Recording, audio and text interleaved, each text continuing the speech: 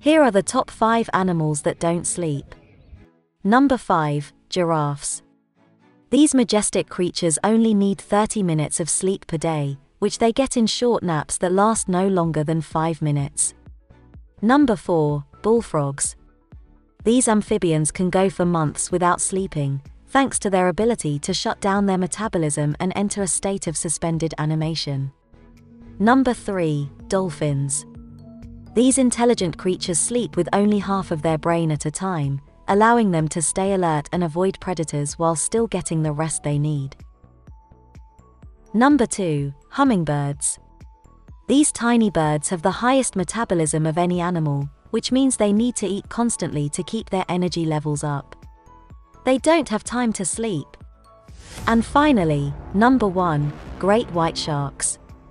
These apex predators never stop swimming, even when they're sleeping.